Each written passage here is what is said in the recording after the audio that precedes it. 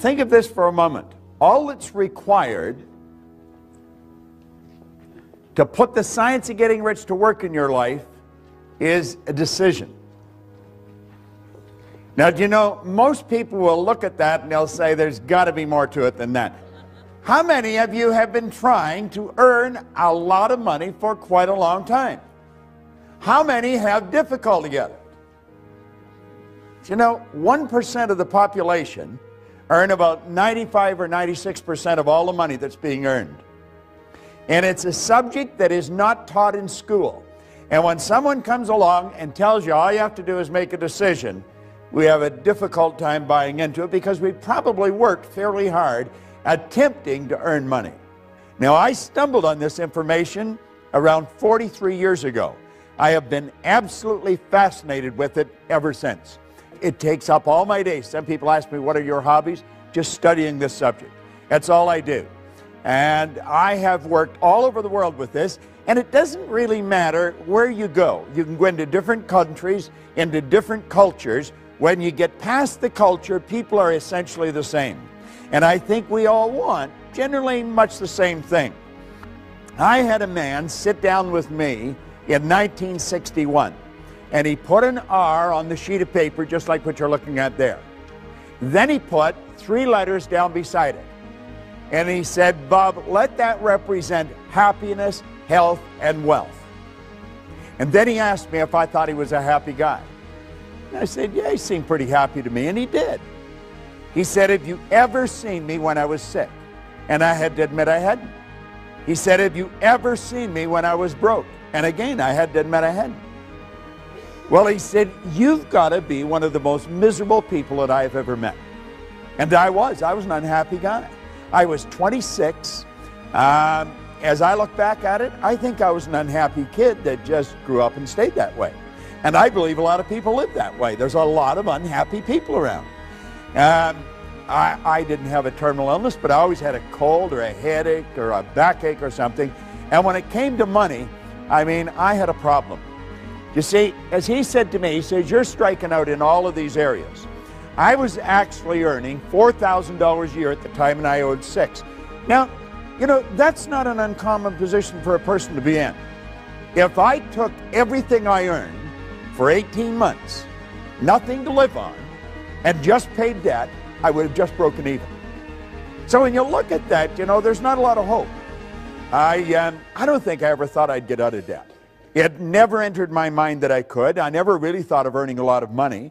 Um, I, I, was just trying to keep the wolf away from the door. You know, the phone would ring every day, tell them I'm not there, you know, or where's the money? And, and hell, I thought if I knew where the money was, you wouldn't have to phone me.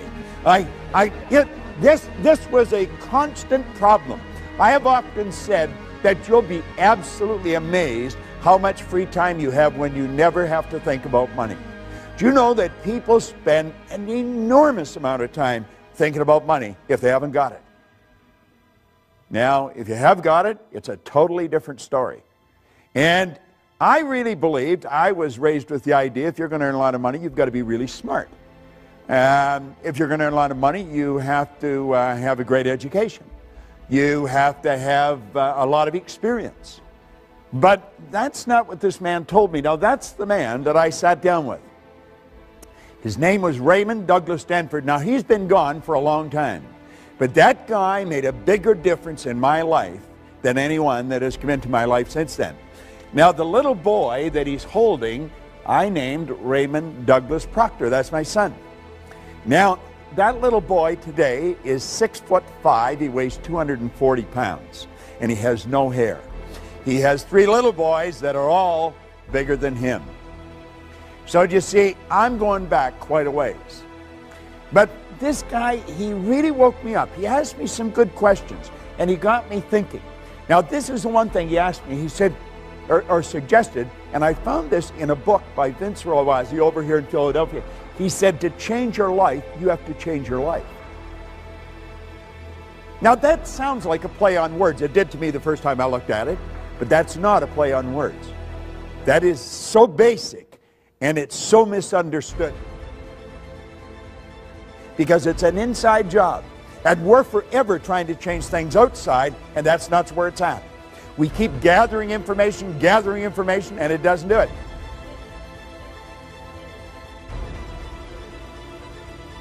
I think once we get hooked on the idea of developing ourselves, we never get away from it. And the people that are not hooked on the idea, they think we're a little crazy. But I wouldn't want to live in the world they're living in. You know, back in 1970, I had the pleasure of being on a program in Chicago with, uh, with just an incredible man. He wrote a book called The True Believer, Eric Hoffer. And he said something on that program that stuck in my mind. He said, In times of change, the learners will inherit the earth while the learned find themselves beautifully equipped to deal with a world that no longer exists. Now, run that through your mind for a couple of minutes. Yet, in times of change, the learners will inherit the earth. I took that to be metaphorical, that we'll be happy, healthy, and prosperous. While the learned find themselves beautifully equipped to deal with the world that no longer exists. You see, there's no such thing as a learned individual. There's no such thing as an educated individual. That's a misnomer. We're either learning or we're not. Napoleon Hill talks about education coming from the Latin educo, meaning to educe, to develop, or to draw out from within. So you see, we don't even have to get anything.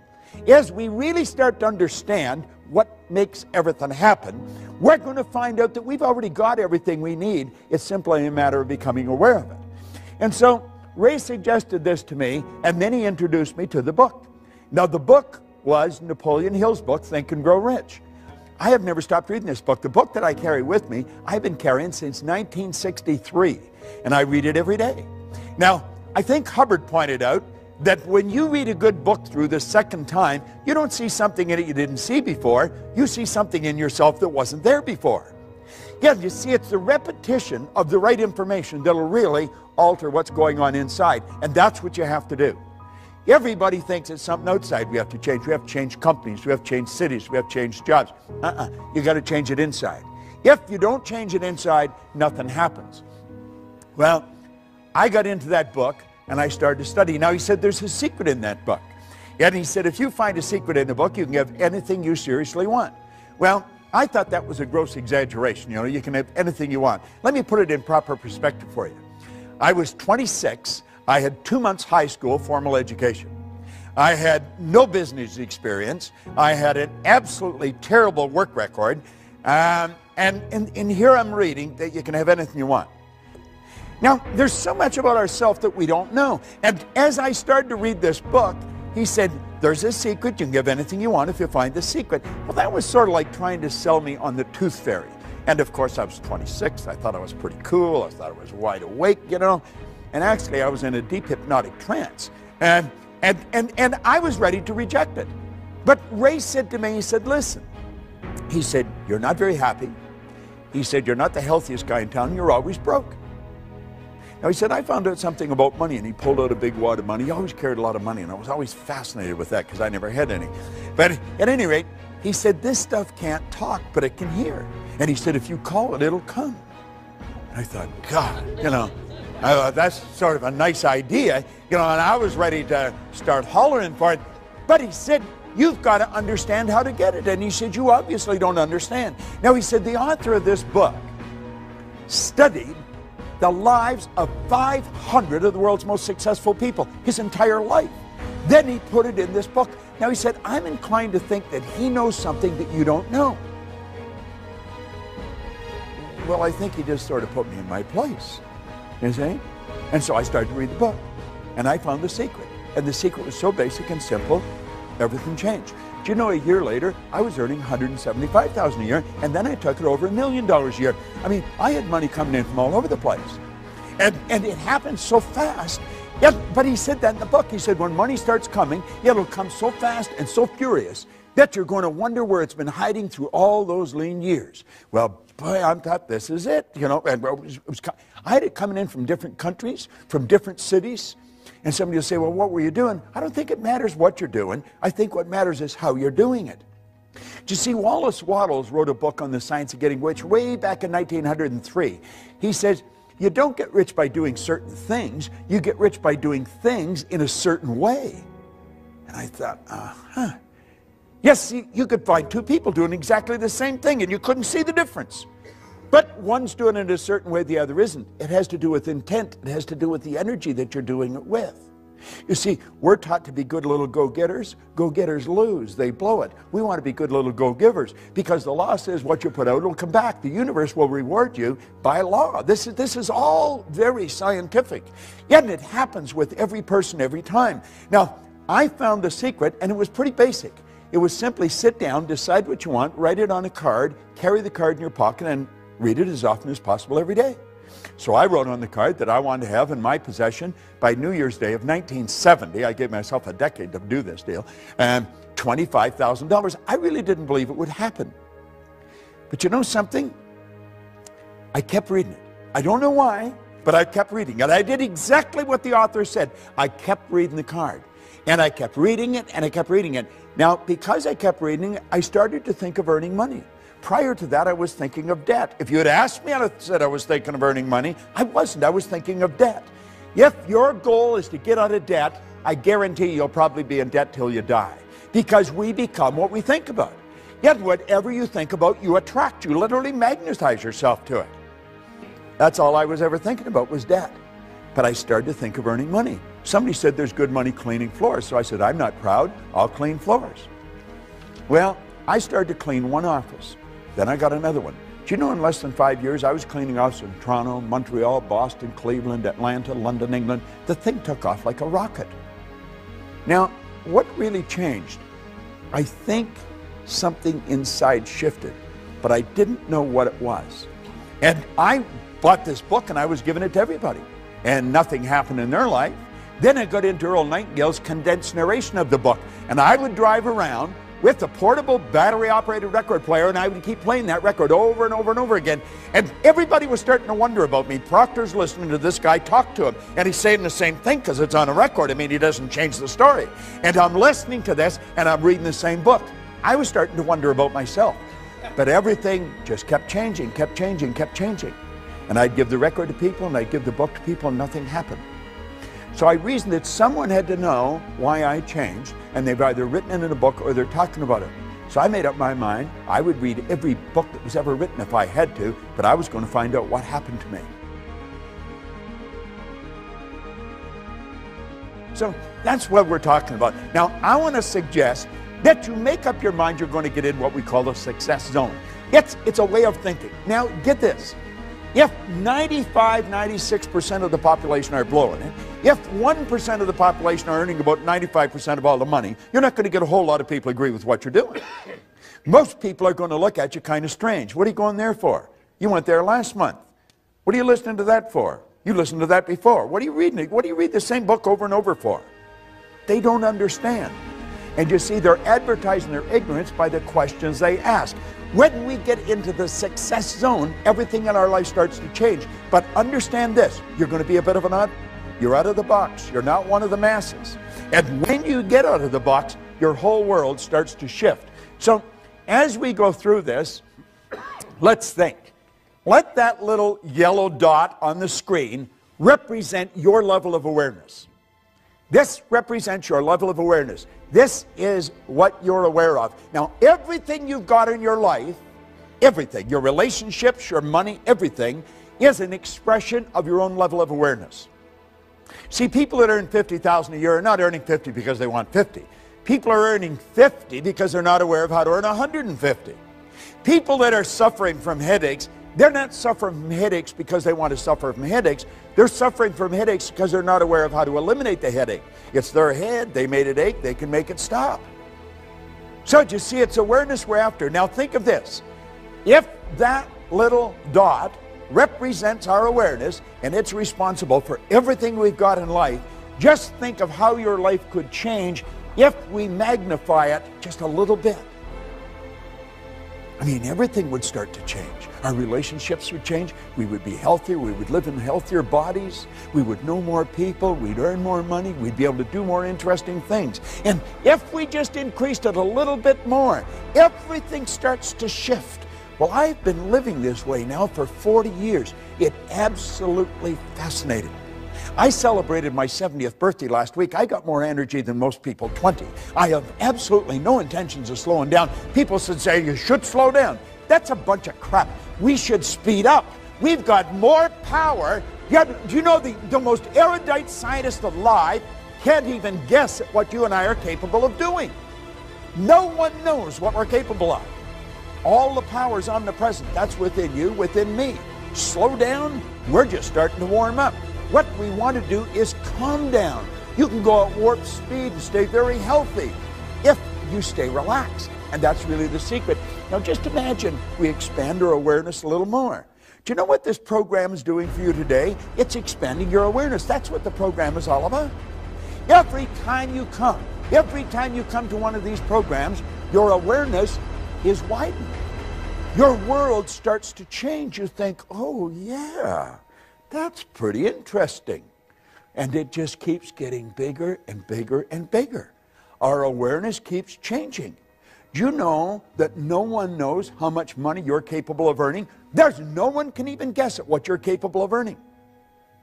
We want to become aware. We're like we are because we're not aware of how to do it better. We know how to do it better.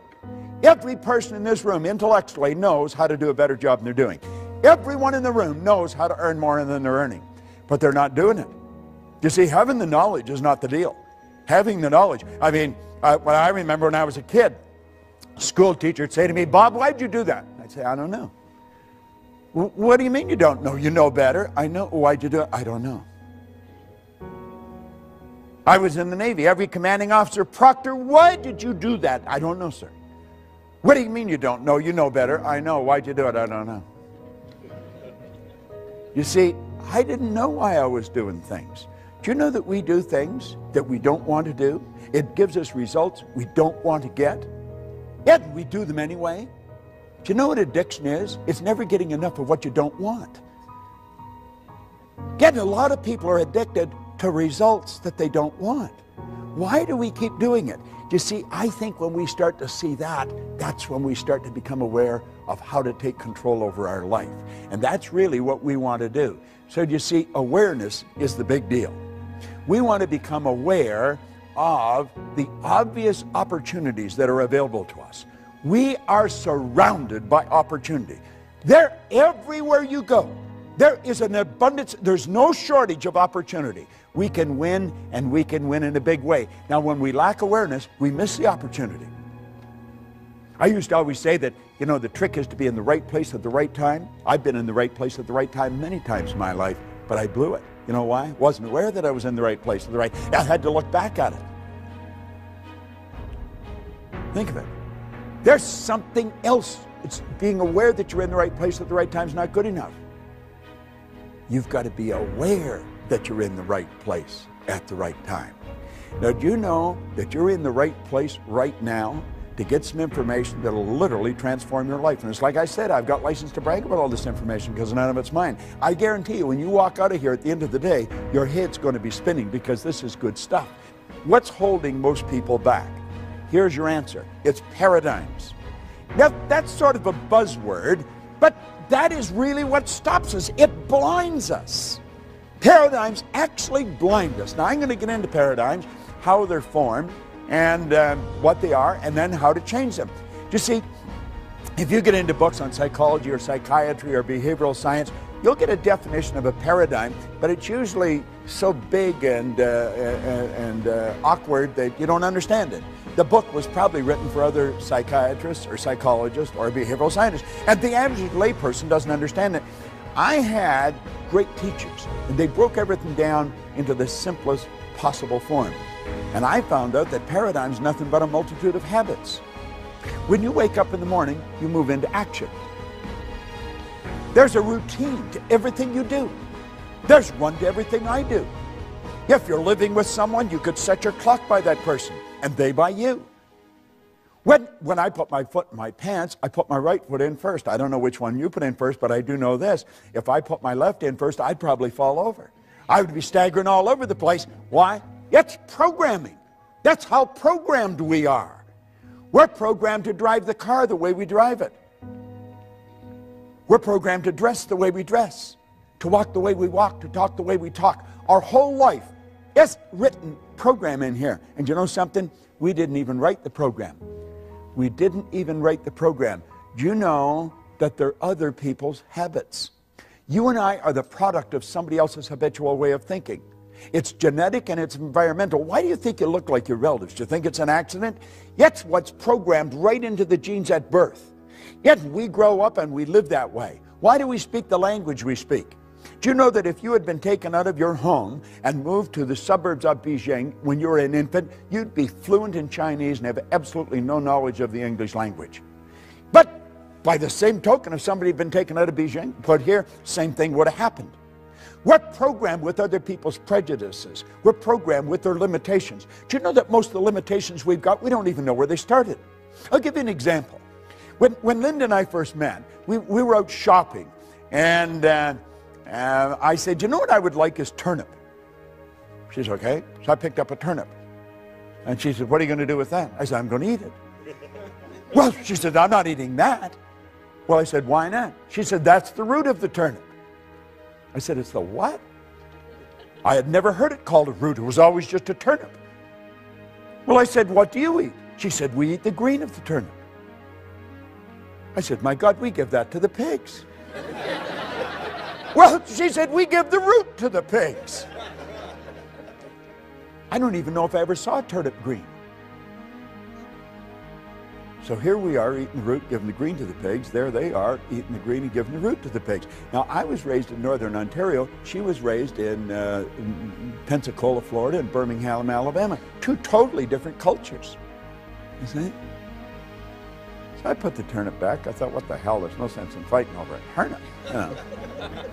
but I'm wandering around the store, yet I'm thinking, who decided we'd eat the root of the turnip? I don't think my mother woke up one day and said, We're going to eat the root of the turnip. I wonder why she ate the root. I don't think her mother did. Then I started to think, I wonder how far back in our family I'd have to go to find out who decided we would eat the root of the turnip. How far back I'd have to go in her family to find out who'd eat the green of the turnip. And then I started to think, you know, it really doesn't matter but the principle behind this is huge. Because you know, most of our habits are like that. They really are. Now think of this. What do most people do when they begin to have financial trouble? That's this is paradigm talk that I'm dealing with here. What do they do? I'll tell you exactly what they do. They lower their standard of living to meet their income. That's a bad idea. That is a terrible idea. Timidity is not a strategy for the new economy. We're living in a new economy. Remember, you cannot move forward when you're cutting back. Yet, does it? Why do we do it? We're programmed. That's what we were taught to do. Anything else is being irresponsible. Well, let's think of this for a moment. Successful people take their income up to meet their standard of living. Do you know why? They understand how to do it. And if you don't understand how to do it, you're in bad shape. But when you do understand, you don't need to cut back. Never need. I've, I've been working pretty closely with a fellow. In fact, we just come back from Europe. We were over all through Germany and over into Finland. And uh, he had uh, had a bit of trouble with money here just within the past year. And he was uh, put his house up. He was going to sell it. He said, what the hell are you selling your house for? Well, he said, I, you know, I can't afford to keep it. I said, you can't afford to sell it. Now, I said, you got to make a decision right now. Do you like the house? Yeah, I don't want to sell it. Then don't sell it. Just figure out how to earn more money. And so the two of us got working on it, and his problem was solved. It was simply a decision. Well, that's all we need. See, we're living in a new economy. The economy that you and I were raised in, that's not the economy we're living in anymore. It's a totally different world we're living in. But we're still operating with all the old habits. Now, Gates said one thing is clear. We don't have the option of turning away from the future. You don't have that option. No one gets to vote on whether technology is going to change our lives. It's, it's here. This is the deal. You either fall in line with the new rules or you're going to lose. It's that basic and it's that simple. There's nothing complicated about it. You see? Now, here's three great, great questions. You, you want to you wanna remember this because this can change your life like night and day. It's so basic and so simple, you could miss it. One, what am I doing? What am I doing?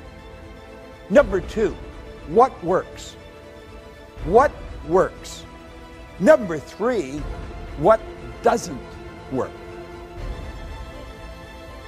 Now, when we've analyzed this, let's make up our mind that we're going to stop doing what doesn't work and take all that energy and, and, and that time and put it into what does work.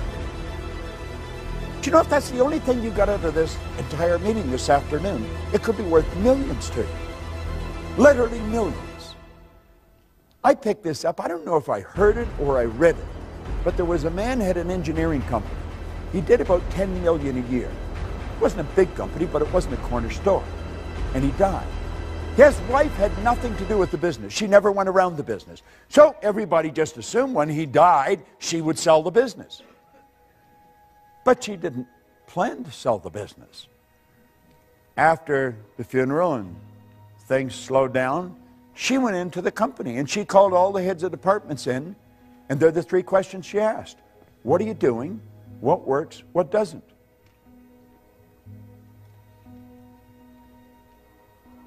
She told them to stop doing what didn't work, spend the time at what does work, and she took the sales from 10 million to 25 million. She just went in every now and then.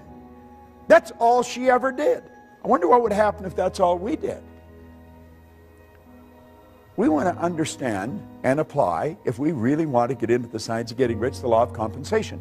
Now, the law of compensation is pretty clear. There's nothing complicated about it. The law of compensation clearly states that the amount of money you earn is always going to be in direct ratio to the need for what you do,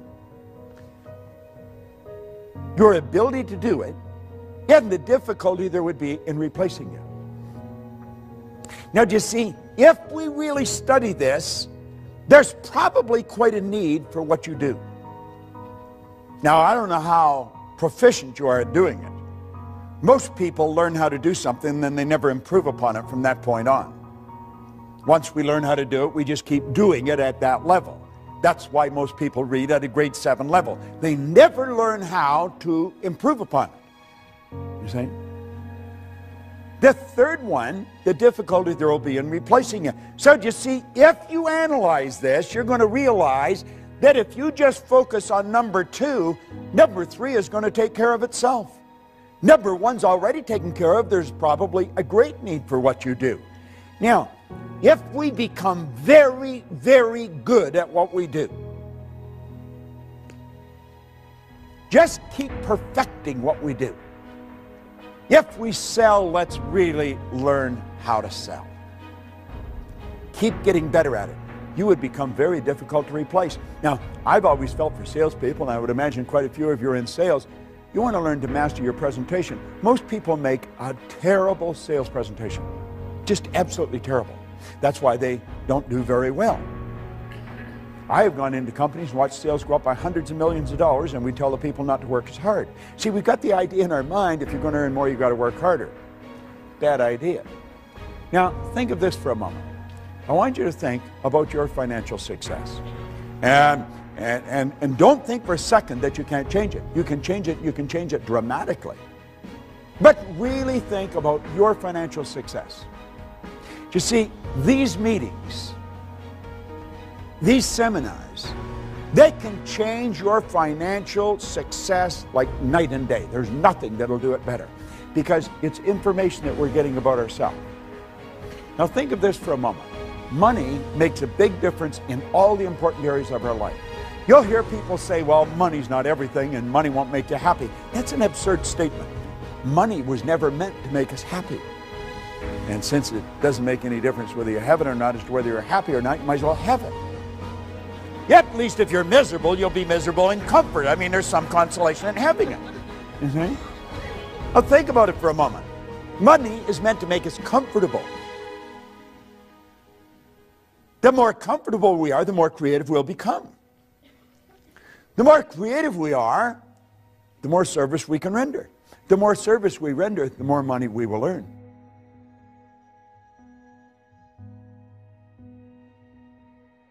Don't spend any time thinking why you can't, just think how you can. You know something, you do it. Anybody in this room can turn their, but you're not going to do it by accident. You're not going to do it unless you decide to do it. Now you'll say, I don't know how to do it. Hillary didn't know how to get to the top of the mountain when he went up it either. He didn't.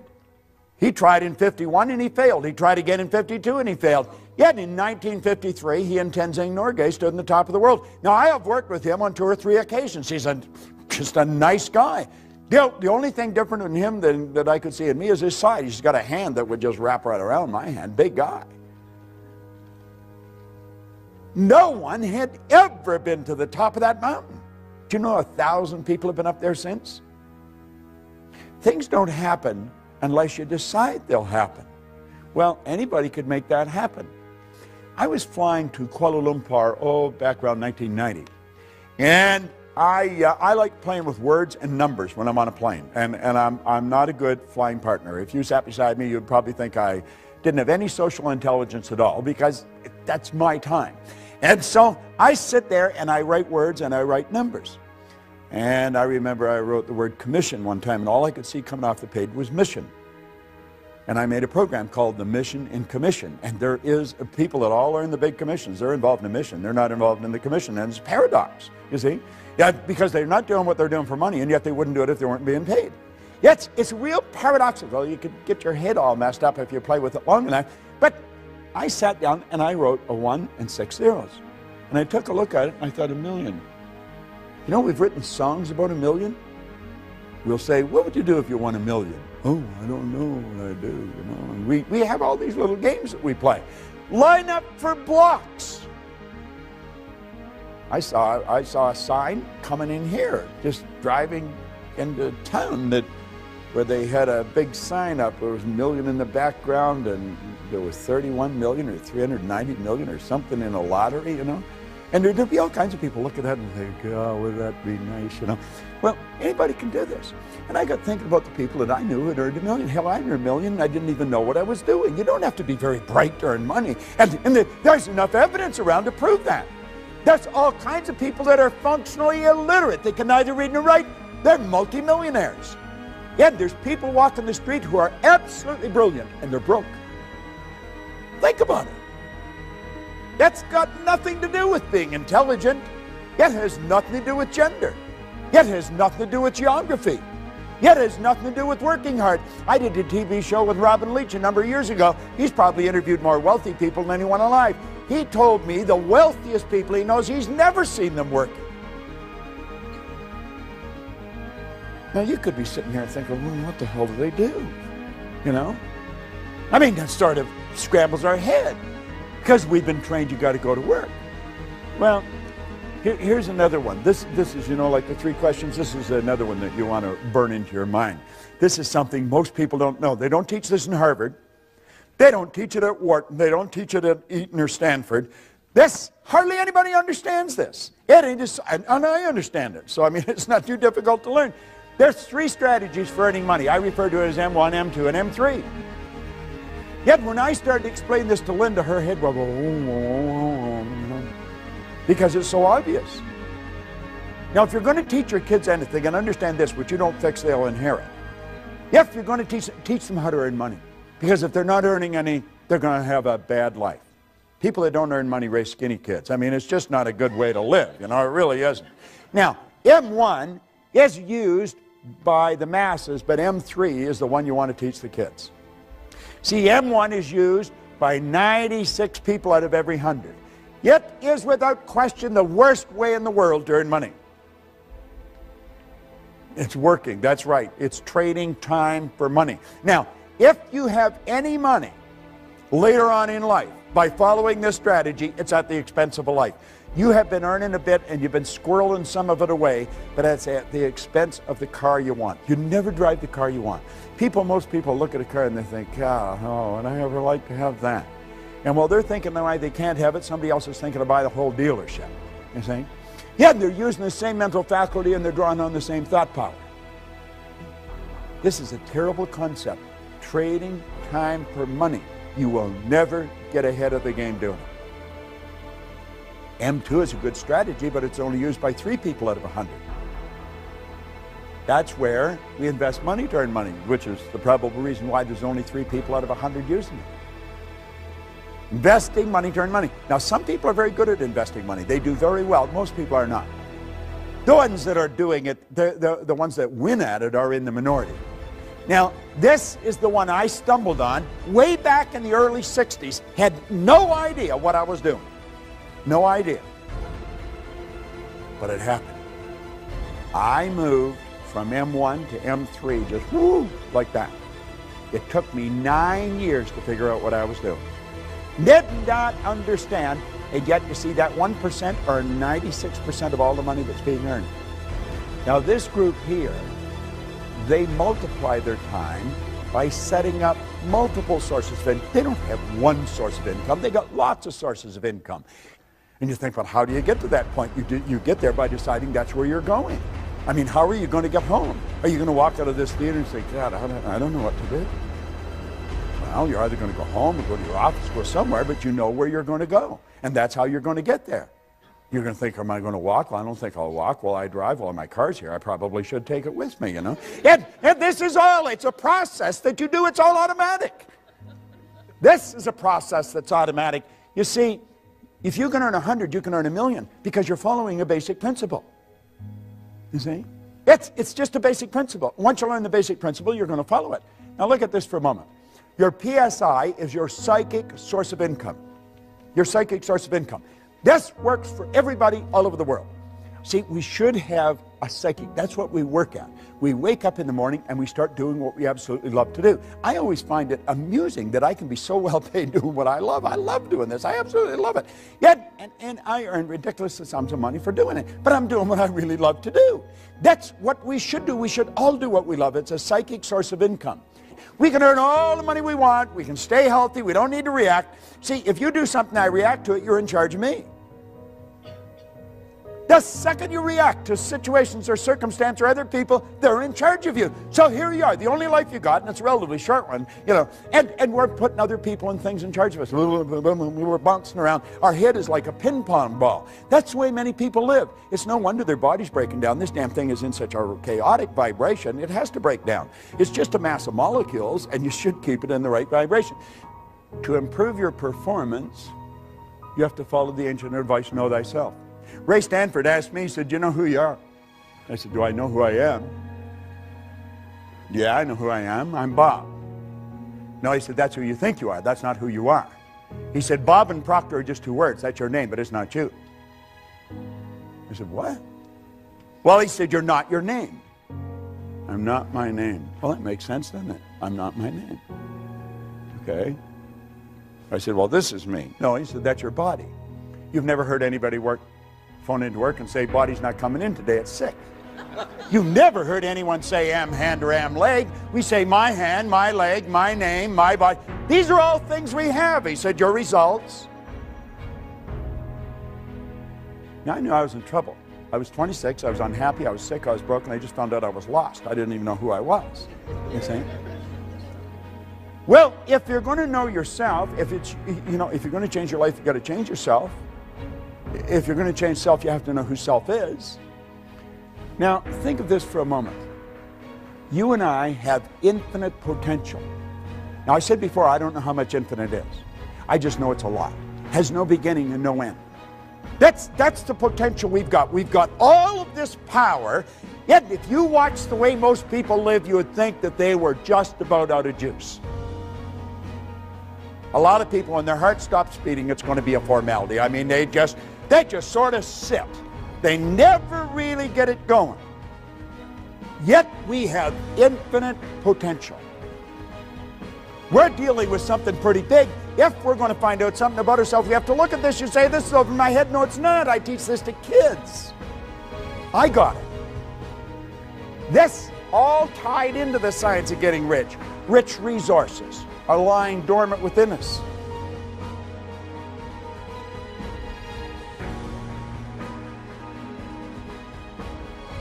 Andrew Carnegie told Napoleon Hill, he said, any idea that's held in the mind, that's emphasized, that's either feared or revered, will begin at once to clothe itself in the most convenient and appropriate physical form that's available. You see, Dr. J.B. Rhine said the mind is the greatest power in all of creation. Very few people understand it. If you go on our website, you just go to bobproctor.com, you'll see a quote there by Dr. John Mike, a psychiatrist from Florida. He said, I taught him more about the mind in one year than he'd learned in four years of medical school, five years of psychiatric training. And what I taught him was just what a Dr. Roeder taught me. I was always amazed by that.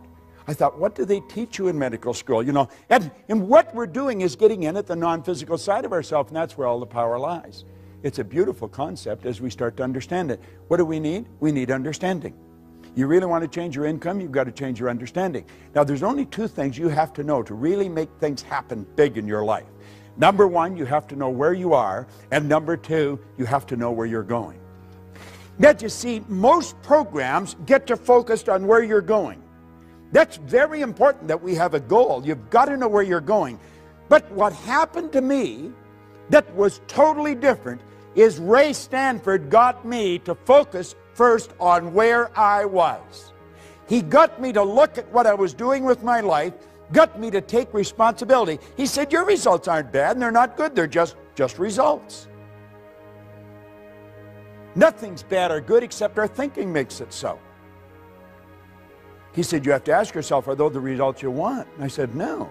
Well, he said, If you will pay attention and you'll do what I suggest, I can show you how to change it. You see? And my whole life started to change. Most people get us focused on the goal. If we don't know where we're at, we're not going to. Let's suppose we all bail out of a plane and safely land somewhere on the planet. Our objective is to get to this room.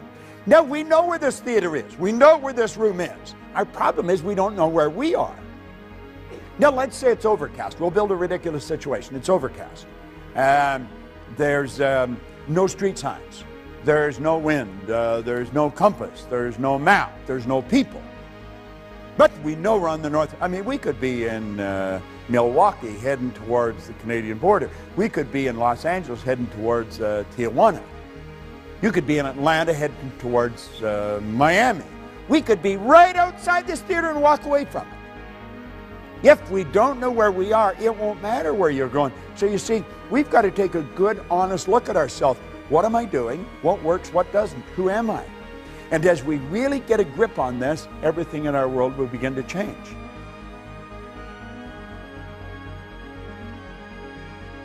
You see, what we're seeking always is greater awareness. We're always wanting to raise our level of, res- level of awareness because our results are an expression of our level of awareness. And the only way to improve results is to increase our level of awareness. All right? Now, effective goals inspire us to move to increasingly higher levels of awareness.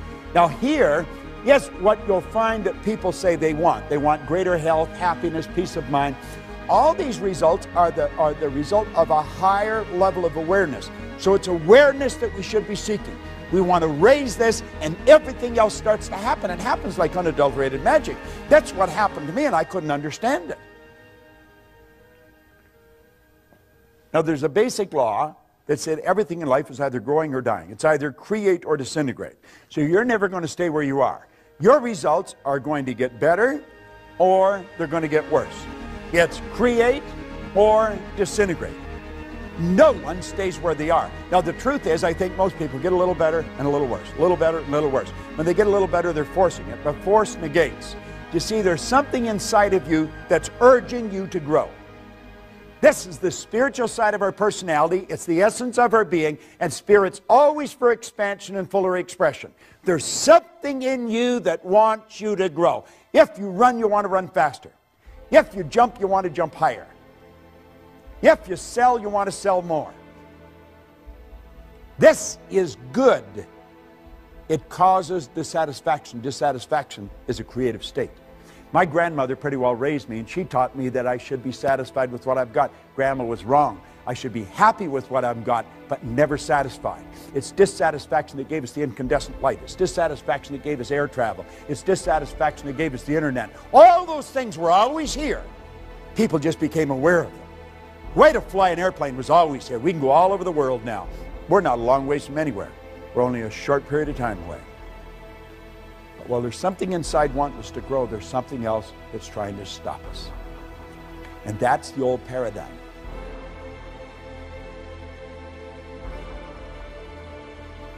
Now, you've got the one side that wants you to grow and the other side that doesn't want you to grow.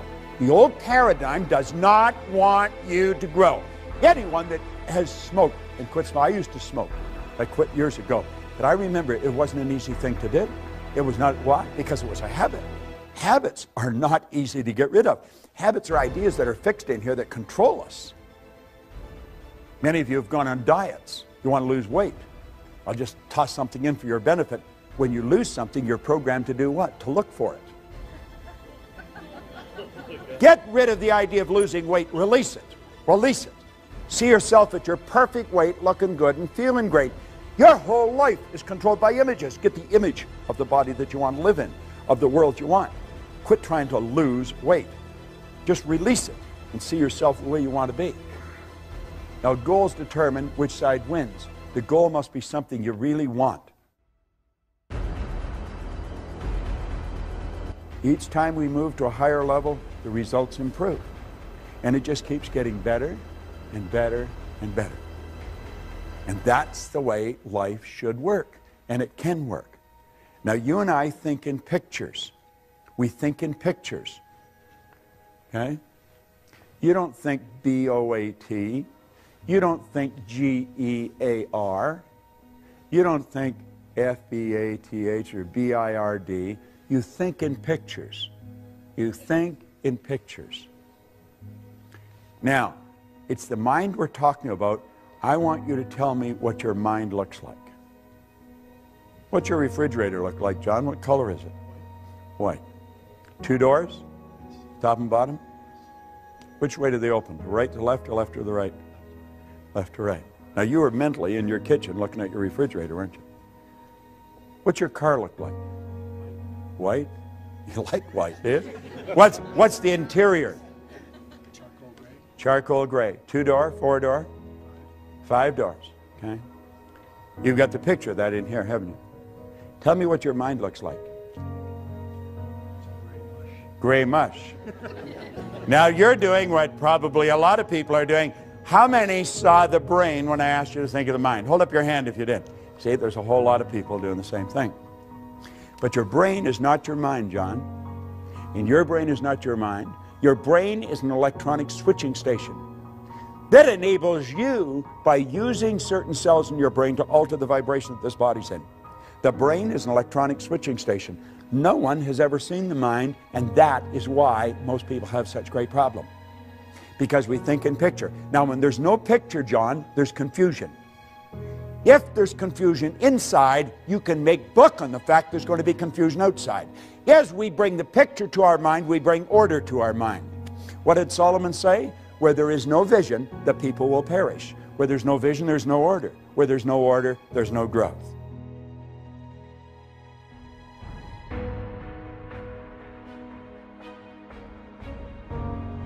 And that is what changed my life as much as anything. As I started to see how to work with my conscious and subconscious. Do you know certain things about your subconscious mind? Because you've read about them, you've heard about them, you listened to it on tape. But without a picture, it's just words. You see, when I asked you to think of your car, John, I activated vocal cords. I made a sound. It's called language or words. It was actually a light message. Your hearing sense picked up that light message. It was rifle fired down a nerve passageway in your body. It struck a group of cells in your brain that that sound resonated with, all electrical. Those cells increased in amplitude of vibration, and the picture that was in them flashed on the screen of the mind, and you saw the white car and the charcoal gray interior. When I asked you to think of your refrigerator, light message struck those cells in your brain, picture come on the screen of the mind. When I asked you to think of your mind, you saw your brain. And yet your brain is in your mind. Your brain is in your fingernail. It's in your kneecap. And you know something? You'll never enjoy health if you don't really be able, if you're not able to get a picture of the mind. You'll never enjoy health because good health is when a body is in a good vibration. It vibrates in harmony with God's laws. Most doctors do not understand this. We have taught this to a lot of doctors and it changes their practice like night and day. It'll change your communications. If you're in sales and you don't understand the law, you're on a hit and miss basis and it'll probably be more miss than hit. When you understand the law of vibration, you're going to understand that you're transmitting through the medium of the molecule pictures into the other person's mind. And you want to put pictures in their mind that are favorable to them if you want them to be favorable to you.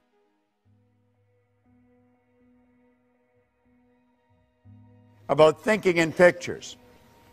If you're going to rearrange the furniture in your room, you get the picture of where you want things, and then you move the furniture there. Everything we do, we do it in our mind first. When we don't have a picture, we have confusion. If you try and get two pictures in your mind at the same time, you're in a confused state. So, when we start thinking about ourselves and we realize we're spiritual beings, we live in a physical body, we have an intellect, that becomes a bit of a problem. How do you see that? How do you get all that? And it becomes too confusing, so we stop thinking about it. Now, this is what I call a magical graphic. This is the genie. This picture or this drawing was made by a Dr. Thurman Fleet in San Antonio, Texas, back around 1934. He realized, if we take this back a bit, that most of the healing arts dealt with the physical. If you're treating the physical, you're treating a symptom, you're not treating the cause of the problem. A lot of people are into holistic healing today. That's heal the whole person. And he knew that they had to be healed spiritually, intellectually, and physically. And he knew that there was a problem because of thinking in pictures, and that's when he came up with this concept of the mind. Now, when this was first explained to me, uh, it took me a while to really grasp it because I was getting it confused, different things. So if you look on the inside of the sheet that we give you, uh, you'll see uh, the drawing there, and we'll fill in some of the blanks for you. I let this drawing represent me. If I think of me, I think of this drawing. If I think of the drawing, I think of me. I see my head as my mind and everything else, the neck down from the body. Now, I'm well aware that that's not the way the mind is. Mind is movement, body's the manifestation of that movement. But since we think in pictures, this is an excellent one. I see the top half of my head as my conscious mind. The bottom half is the subconscious, and of course, the body's the body. Now, it's the mind that controls the body. The body is like a dumb terminal. It will do whatever the mind tells it to do. It can only do what the mind tells it to do. When there's something wrong in the body, you can rest assured there's something wrong in the mind. When you see a rash break out in the body and we say it's an allergy, you know that there's a problem in the subconscious mind that's expressing itself. All right? It's a fixed concept and it can be altered. I always say dermatology is the best form of medicine to go into because your patient rarely dies and they never get better. All right, so you just you just keep saying try this and come on back uh, for more. Now, the conscious mind is your thinking mind. This is the part of you that you have the ability to think with. Your subconscious is your emotional mind. Your emotions are controlled by the thoughts that you entertain. You choose your thoughts and you think in pictures. You impress the thought upon your subconscious, and that causes you to feel the way you feel. Now, actually, the feeling is conscious awareness of vibration that the body's in. Because whatever is impressed upon the subconscious controls the vibratory rate of the body. The body moves into action, and your actions produce your results. Now, just see, it's the results that most people are trying to change. The results are something outside of us. Now, what we're talking about is the mind. All right? Now, James Allen said, until thought is linked with purpose, there's no intelligent accomplishment. Just the information isn't going to do it. You've got to have a purpose. You've got to have a purpose that is so big, so all encompassing. That's why you get up in the morning. That's why you go to work. Now, your vision is how you're going to execute your purpose, and your goal is how you're going to execute your vision.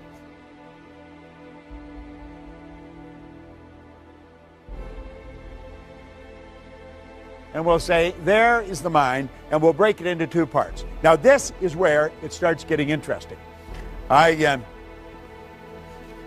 was looking for this book, and I had left it on a chair over here. If you're sitting on that, you've got some great energy flowing through you, I'm going to tell you. Now, I have been carrying this copy with me since 1963. You can see I've had it for a while. Now, in here, he said that an educated person is not necessarily a person with an abundance of general or specialized knowledge. An educated person is a person who has so developed the faculties of their mind that they can acquire anything they want or its equivalent without violating the rights of others. How many of you know what the faculties of your mind are? Let me see a show of hands. One, two. Isn't this amazing? Hardly anybody knows what they are. How many people have a perfect memory? Just me? Uh, how many people would like to have a perfect memory? Now, you see, I want you to just to look around. The audience is from different walks of life, different ages, different gender, and uh, and yet nobody had their hand up for perfect memory. Do you know that every one of us has a perfect memory? Do you know I could teach you how to memorize this book? There is no such thing as a bad memory. There's only weak memories. Memory is an intellectual factor. And you develop your memory the same as you develop your body through exercise. If I put this arm in a sling and left it there, I think you know in a relatively short period of time, it would be rendered useless. If at the same time I was lifting weights with this arm, I'd have big, powerful muscles here. Now, it's fairly obvious I haven't done either of these things, but if I had, you, you know exactly what would happen. It's the same with our mind. What happens? People going around, I got such a rotten memory. You don't have a rotten memory at all. You have a perfect memory. Where did you get the idea you had a bad memory? Well, when you were a little kid, you heard your parents say, I got a bad memory. What do you do? I got a bad memory. You just mimic them.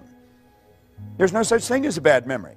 You have many marvelous mental faculties. And he said, an educated person is not necessarily a person with an abundance of general or specialized knowledge. An educated person is a person who has so developed the faculties of their mind that they can acquire anything they want or its equivalent without violating the rights of others.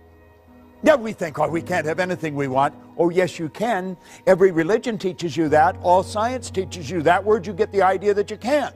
Well, you probably got it from your next door neighbor, who probably doesn't know much than, more than his next door neighbor. So we uh, put these two back together the conscious and the subconscious mind. Now, we have been programmed to live through our senses. We go by what we see, hear, smell, taste, and touch. And that's pretty well the way we were programmed. You see, they are like little antennae that are hooked up to our conscious mind. They're just like antennae, picks up information from our outside world. So this is the way most of us live. We look at our bank account, that tells us where we're at financially. We look at our report card, that tells us where we are intellectually.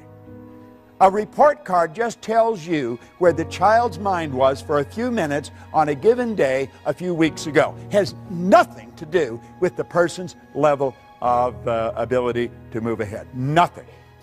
Uh, we take IQ tests. IQ will change something like the weather. That, that's true. You can change in a person's IQ. Their intelligent quotient, it can be changed. We know so little about ourselves. You go all through school. We think the important thing in school is to get the person to understand 2 plus 2 equal 4. That's not the most important thing at all. Person, most important thing is to start to understand yourself. The important thing is to keep the important thing the important thing.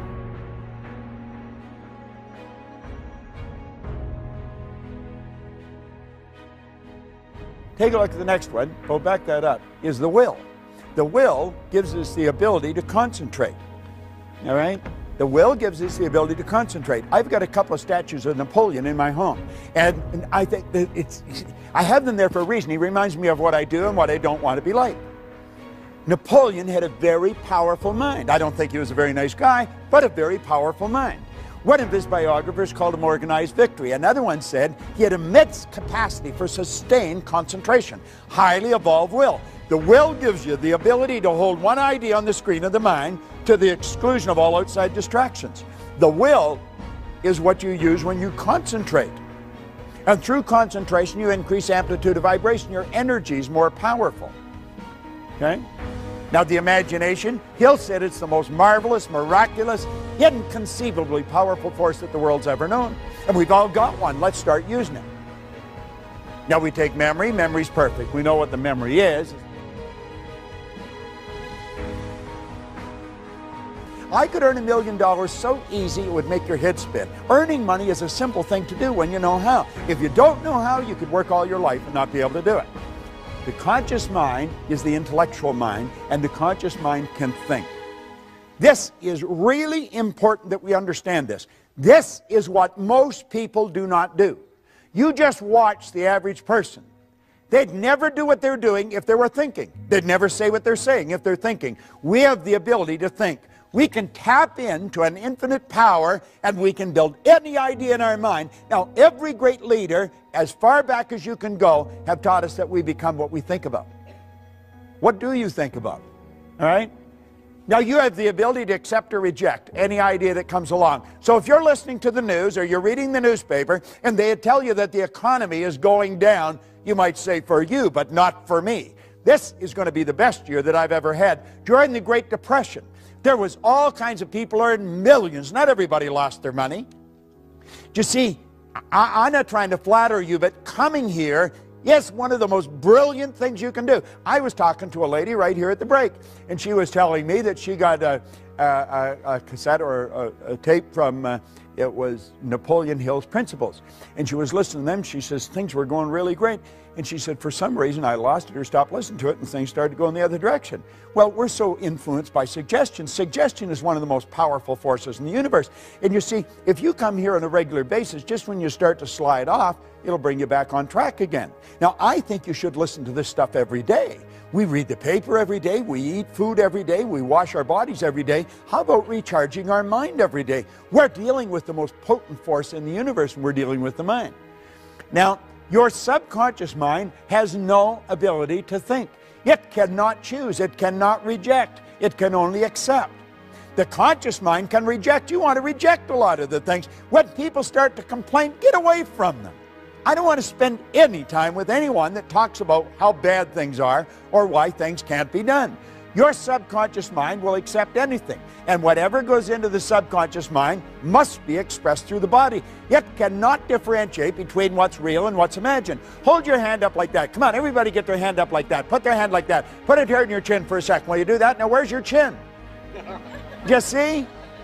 You're thinking.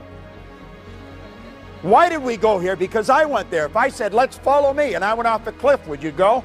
We have a tendency to go by what we see, hear, smell, taste, touch. We do not think. You know that's not your chin. You say, well, you put your hand there. There we go. You see, that's the defense. They did it. All right? Your subconscious mind will accept anything.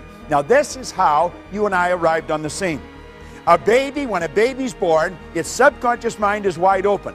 You can put anything in it you want. The baby's mind is wide open. Every thought that goes on around the baby is going right into that baby's mind. You were a baby. Go back and ask yourself, what was the environment like that I was raised in? What did the people work at? What was their attitude towards money? What was their attitude towards potential? You see, if we start asking these questions, then we know what's programmed here into our subconscious mind. Now, any idea that goes into our subconscious repetitively becomes fixed in there. That's what we call a conditioned mind. It's a multitude of fixed ideas. Fixed ideas are more commonly called habits, and a multitude of habits are called paradigms. How did we get in the habit of doing things? By the idea going in the subconscious mind. It's the repetition. Do you remember when you first started to drive a car? You probably thought you were going to kill yourself. And so did the person that was teaching you. You know, that's why they were so scared. And, and I mean, it, you, you were having a terrible time. The clutch, the brake, the gas, you know. And now you're steering with your knee. You're looking for a pen while you're talking on the phone. And you're in traffic. It's the subconscious mind that's doing it. When you're on the highway, your subconscious mind is driving. You're not really paying attention. The subconscious mind's driving. Go to pass a transport truck in the rain when there's a heavy overspray. You go from automatic pilot to conscious and you're holding that wheel. And when you get past, you slacken off and back on the subconscious mind again. See, this is all automatic. Well, you and I were programmed. And the problem is we were programmed with their limitations. Where did they get the limitations? From somebody the same way. We've got to understand this. Someone else may have been responsible for making us who we are. We are responsible for changing it. Now, there is thought. It's a thought power is flowing into your consciousness. You can think anything you want, but the paradigm is going to dictate what you're going to do. The thoughts that you think are largely controlled by the paradigm. See, if you're conditioned, as I say, to earn 50,000 a year, what are the odds of you thinking of earning 150?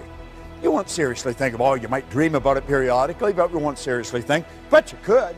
As a matter of fact, if you just made up your mind that you were going to, you probably would in a relatively short period of time. If you were going to learn to fly an airplane, what would you do? You wouldn't go to your hairdresser or your butcher or somebody. You'd go to a real good flight instructor and you'd do exactly what they tell you. Why don't we do that with money? That's the one point that everybody's agreed on, is you become what you think about. All right? Now, the thought flows in, or the power for thought flows in, you choose the thought. You can think anything you want. Start to monitor your thinking. And the second you start to get out of the box, the paradigm will cut in. You say, You can't do that. You can't do that. Why can't you do that? Well, you'll come up with reasons why you can't do it. You see? The truth is, you can do anything you want to do. Now, paradigms influence your thinking. I'll tell you something else. Paradigms influence what you do. You see, school has been interested in you getting the book into your conscious mind. What is the important thing in school? The important thing in school is that you read the book, you remember what's in the book, and you repeat what's in the book. If you do that, you get the mortarboard of the sheepskin, and they say you're an educated person. There's a lot of educated derelicts walking the street. They remembered what's in the book. It doesn't cut any ice anymore. For a while, we got away with that jazz. There was a lot of money wasted. Companies aren't doing it anymore. If you don't produce, baby, you're on the street. Cry, bitch, complain, do all you want, but you shouldn't have been there. If you're not performing, you don't deserve the reward. It's a simple concept. And if a company's paying for people for non-performance, then the company's going down the tubes. School has us programmed to believe if we can repeat it, we've got it. Well, that ain't so because you can repeat all kinds of stuff, but the paradigm's still controlling your behavior. You see? School gave us the knowledge. However, school never taught us how to alter the paradigms. If you don't learn how to alter the paradigms, it's never going to happen. Got to alter the paradigm. See, you want to improve your results, or you wouldn't come here. I don't think you're coming here because you had nothing to do. I think you're all very busy.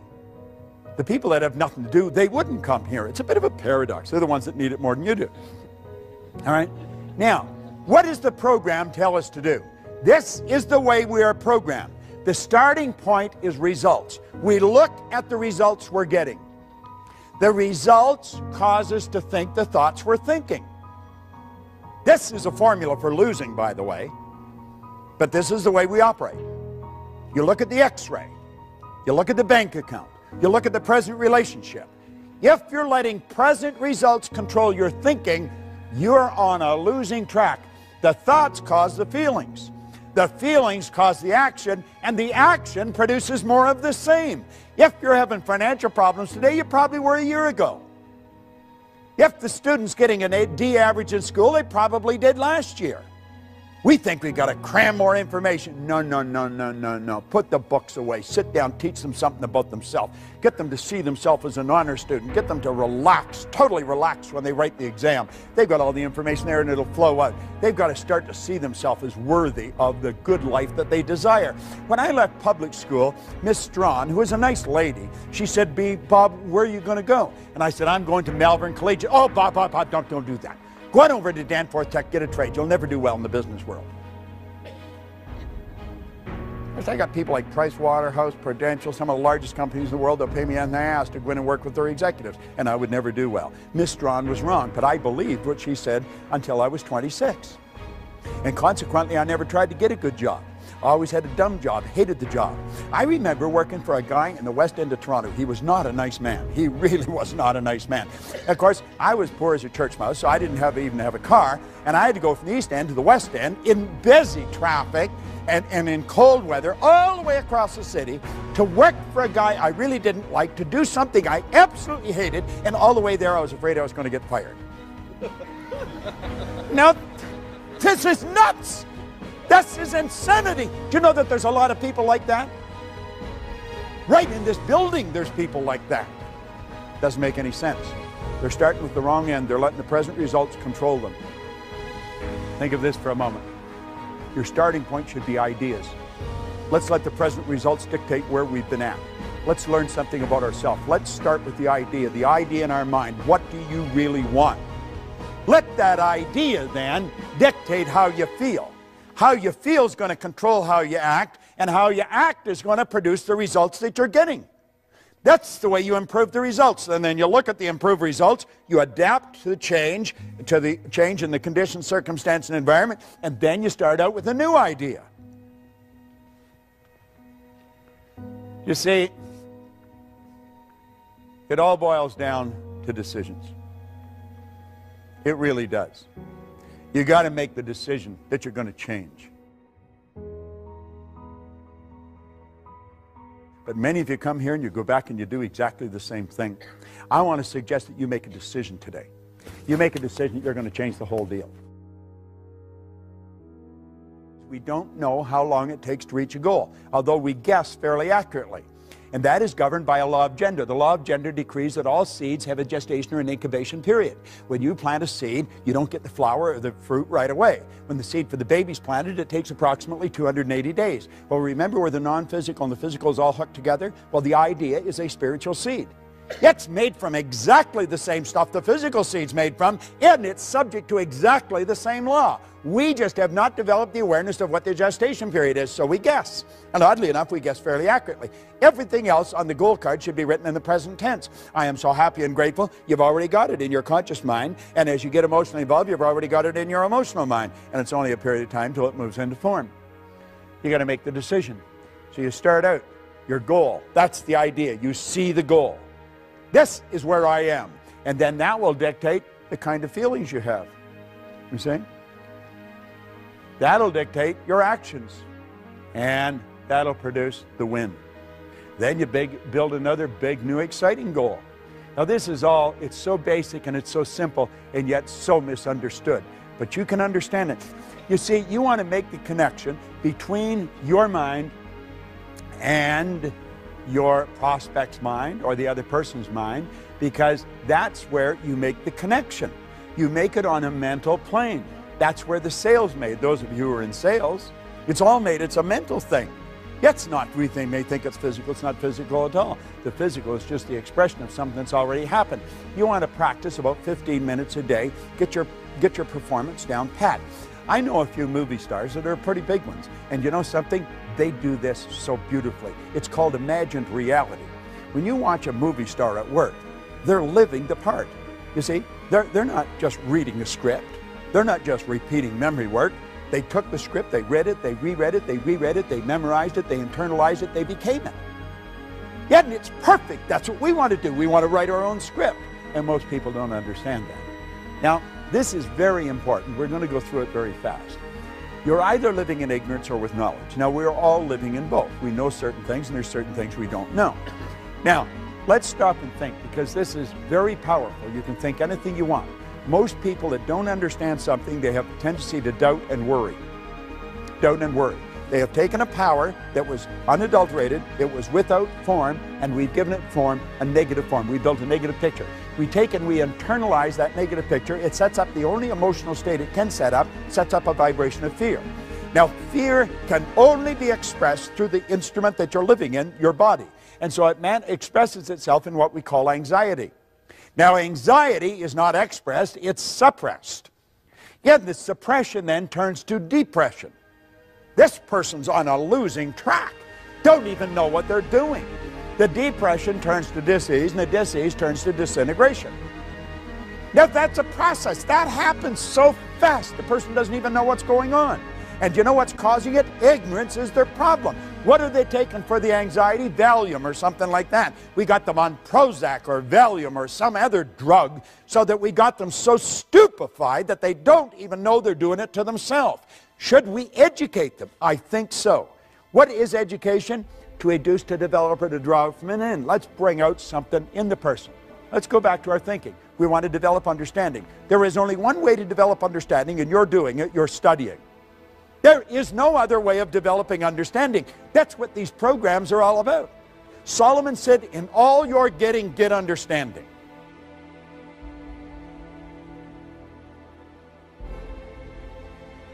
Now, the well being is expressed. You don't hear somebody that, that's really in a great vibration. You say, Hi, how are you? And they, I'm really excited. You know? They don't do that. You see it in the way they walk. You see it in the way they talk. You see it the way they meet and greet people.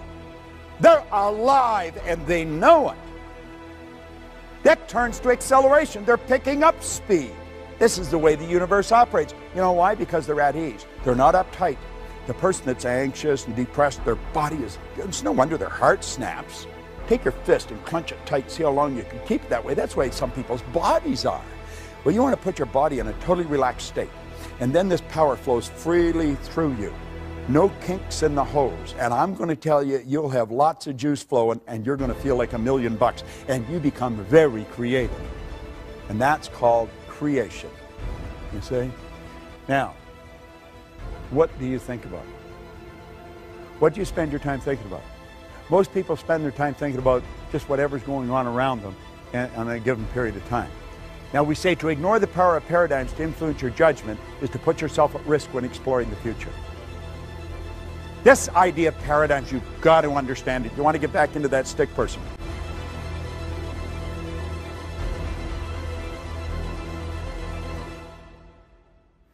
Can you change your paradigms? Yeah, you sure can. Yeah, you sure can. And you see, when you know you can change your paradigms, you have hope. See, I was controlled. I was unhappy, sick, and broke, and I was lost. I had no hope. Why? Well, I just couldn't see how it could happen. You know what Ray gave me? He gave me hope. And you know what happens when you have hope? That means that you have options. Now, what a difference. I love this. What a different story people would have to tell if they would adopt a definite purpose and stand by that purpose until it had time to become an all consuming obsession. I love that book. I truly love it. Most people are extras in their own movie. They really are. You know, it's sad. They write the script, they're the casting agent, they're the director, they're the producer, they're the executive producer. They do the whole deal. And they give themselves maybe a walk on, maybe a line if they're really gregarious. But most of them just stand there and they look at the stars. They think, God, I ever wished I could do that. We could do anything anything we want. See, what we want to do is say, what do I really want? Not what do I think I can do, what can I afford, what do I want? Life is not a practice run, you know. You're not going to get another bite at the apple. This is the deal. This is it.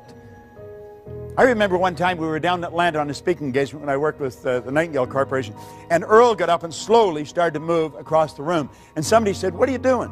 He said, I was just thinking, that's the way most people go through life. They tiptoe through life hoping they make it safely to death. it's true. That's the way most people live. We want to step out and do the thing we really love. Now, here's a lesson for you on goals that is absolutely incredible. So you'll want to remember it. Most people, when they're setting goals, they set goals to do what they know how to do. That way it's safe. They're going sideways, but it's safe. You remember we talked about the level of awareness, how you reach? We said goals are to cause you to stretch. That's the purpose. The goal isn't to accumulate. You go, money's not to accumulate. I never have enough money. Never. Do you know why? I'm always doing something beyond where I'm at. That's what keeps me growing. I want to extend what I'm doing. I want to get another deal going. And everybody said, gee, Bob, why don't you slow down? Uh-uh. I want to do it. And so you've got, and then you've got to attract more, you see? You've got to keep going. Quit going after things you know how to do. Now, understand this. People do not resist change. They don't. Do you know what people resist? Being changed. See, if I try and force change on you, the wall comes down. But if you decide to change, no problem. We say people resist change. They really don't. They resist being changed. Now, let me tie this into that. You hang out with people that you're comfortable with. You're on the same frequency as them. What we say feeling was conscious awareness of vibration. So you, you hang out with people that are in the same vibration as yourself. If you're miserable, you're not happy with happy people. You got to be with miserable people. If you're happy, you're not happy with miserable people. You got to be with happy people. You don't find the big producers hanging out with the little producers. And you don't find the little producers hanging out with the big producers. You don't find rich people living in the slums. You don't find people that have no money living in where rich people live.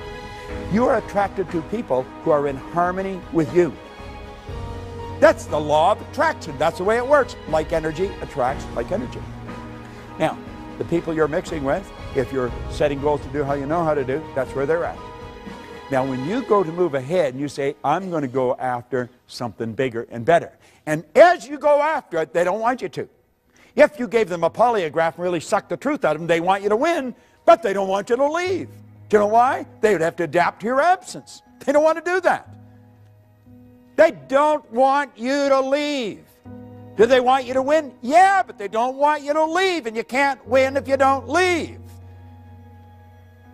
You're thinking, geez, this is true. You can relate to this.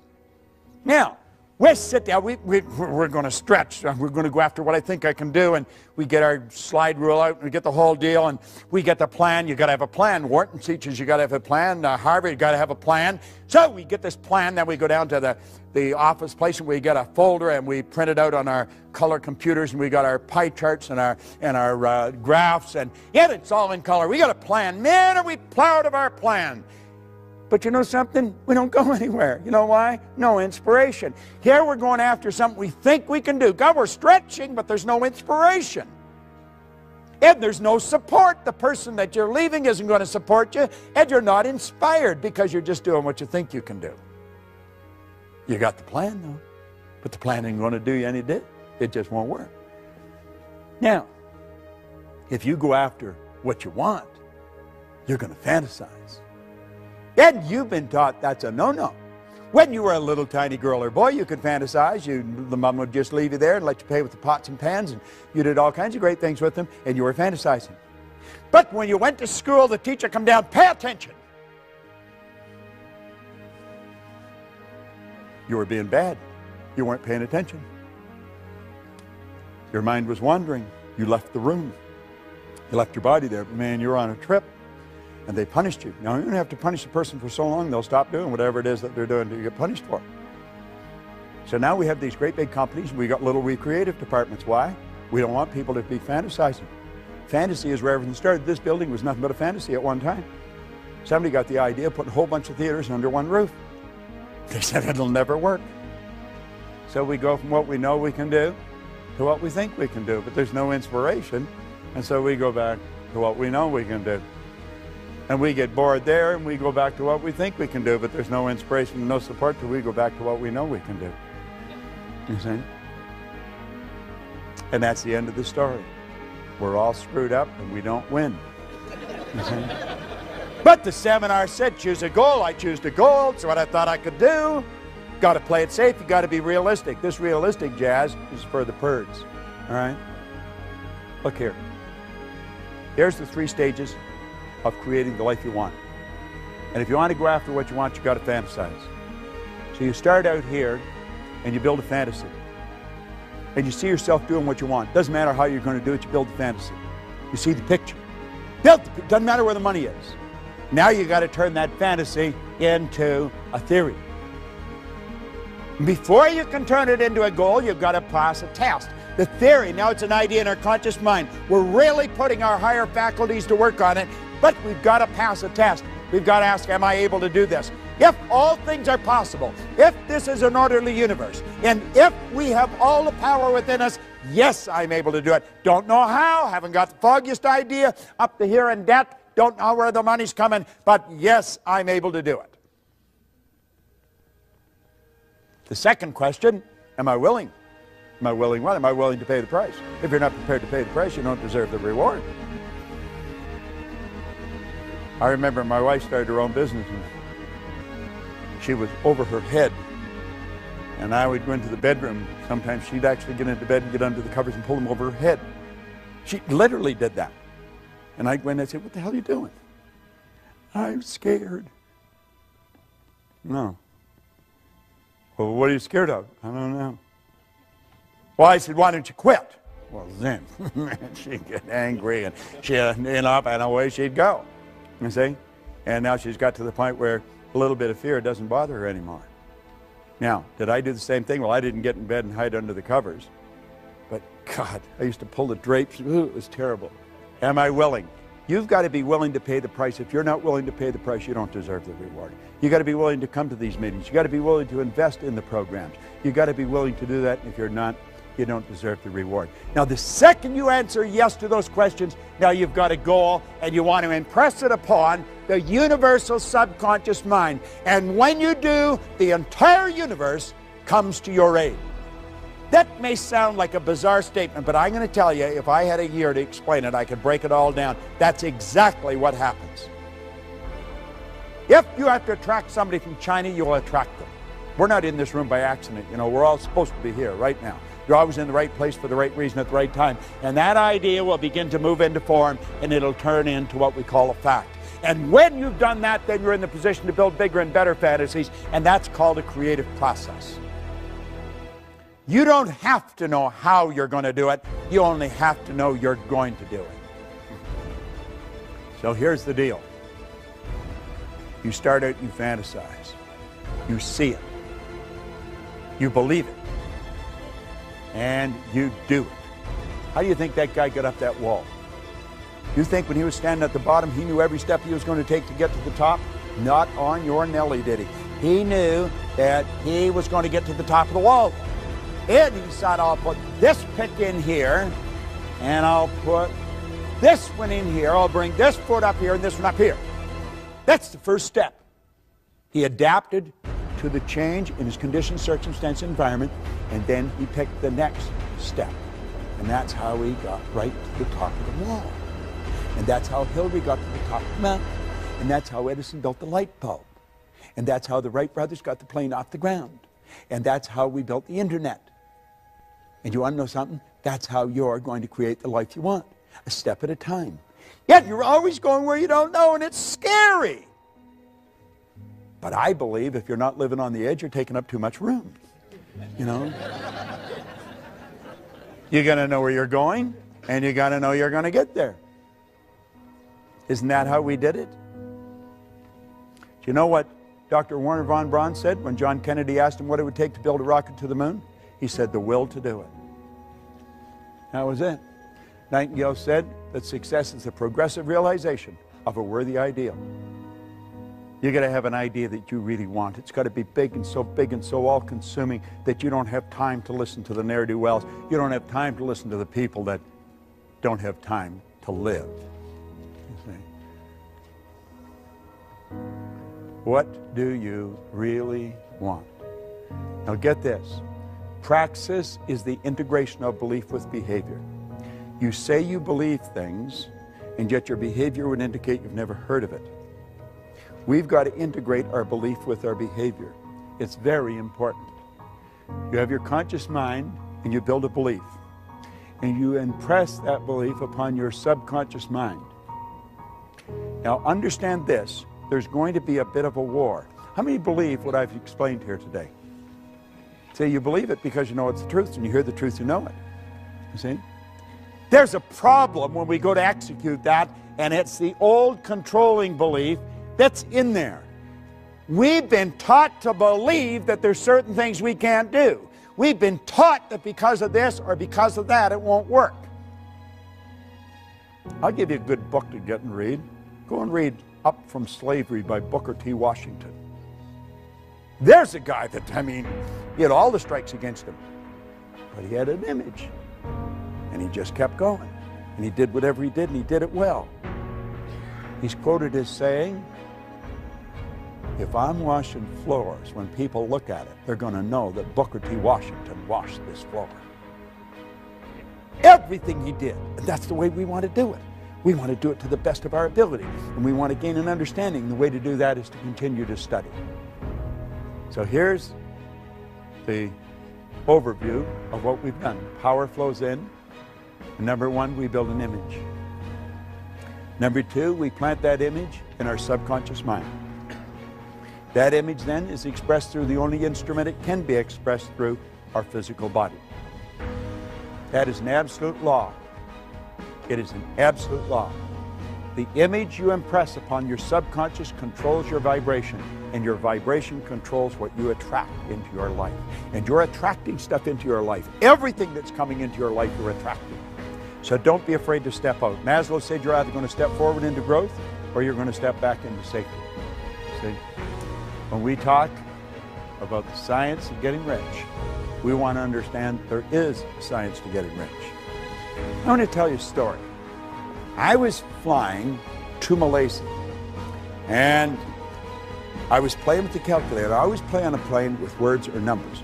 Now, if you go to Kuala Lumpur from Toronto, it's 25 hours in the air. That's a long ride. If you go any further, you're coming back. So, you know, you've got quite a trip that you're taking. Well, at any rate, I'm on the plane and I'm fooling around and I write a million dollars down, just one and six zeros. I thought a million. And I had earned a million. I had earned a million a year a long time ago. And I know a lot of people that have earned a million bucks, and most of them are not overly bright, you know. Uh, and and there's some of them who are absolutely brilliant, but they're not all that bright.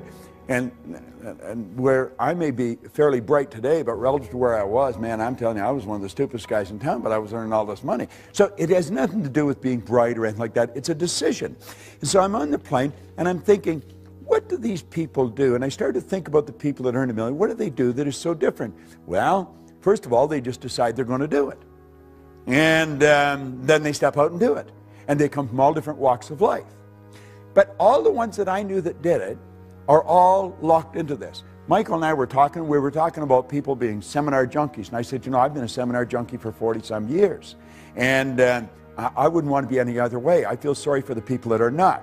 Because you see, that is a very crude way of saying that a person's really into the development of themselves. Well, I took a look at the people that earn the money, and I thought every one of them, without exception, are really locked into studying. They never stop studying. They have just magnificent libraries of uh, CDs and now DVDs and cassettes. I've got it right back to the records uh, and the old record players. I've got them all. I've kept them all. Um, the, the record player they used to drive around with in uh, Vic Conant's office in Chicago, I took it down and gave it to him one day. But, you know, I thought, we should teach people to earn a million. And so when I got off the plane, now this is way back 1990, I got off the plane and I got on the phone. And I phoned uh, Mark Victor Hansen and then I phoned Val Van De Wall, who's gone now. And I mean, it was the middle of the night here, but I wasn't thinking of that. It was, the clock had turned around. And I got them out of bed, but I got excited and I was telling them what I was going to do. And they said, a great idea. So there was a bunch of us. There was Jack and Jack Canfield and Mark Victor and uh, Van De Wall and Lee Pulos. And there was a group of us and we put together a program and we taught it in Hawaii. And we were teaching people to earn more money. Now, we knew how to earn it, and we were teaching the other people how to earn it. And one of the things we were teaching them is you got to lock into study. You got to study every day. We eat every day, we wash ourselves every day, we get dressed every day. There's certain things we do every day that's religious. You've got to study every day. You've got to allocate a part of your income and a part of your time to your own development. And that was part of the lesson. And, and they all knew that we did. I mean, take that born that Think and Grow Rich book. I mean, I, I read that every day. So at any rate, we started, and, and Jack and Mark come up with an idea, and they said, Proctor, we're going to do a book. And uh, we had brainstorming sessions going, and they said, you got lots of stories, give us some stories. And uh, he said, We're going to write a book. And there was a gal there, Cindy Spitzer. I remember, I don't know if she ever got credit for this, but she was from over on the East Coast, around Philadelphia somewhere, and she said, you should call that Chicken Soup for the Soul. And so they're going to write 101 stories, and uh, then we're going to package it and sell it. And I said, that's a pretty cool idea. And, and, and Mark says, we're going to sell 50 million before the turn of the century. And I'm thinking, well, you know, I'm a pretty good thinker, but that seems like a little far out to me. I mean, if you sell a million bucks, you're doing pretty good, but 50 million, and you're going to do it before the turn of the century? Well, they didn't sell 50 million, they sold 74 million. And it was considered the publishing phenomenon of the decade. Now, get this they didn't write anything, they never wrote any books, none. They had other people writing the stories, sending them in. They had somebody else collating, somebody else editing, somebody else publishing, somebody else selling, and they got the money. You know why? It was their idea. Now, this came about, it's called intellectual property, and it came about because they study and they expanded their mind. And that's what you're doing here. Now, we said that most people are extras in their own movie. You're no different than Mark or Jack or Bob or Lee or anybody else. You're exactly the same as them. And what you want to do is make up your mind when you go home, you're going to lock in and you're going to get your chicken soup concept.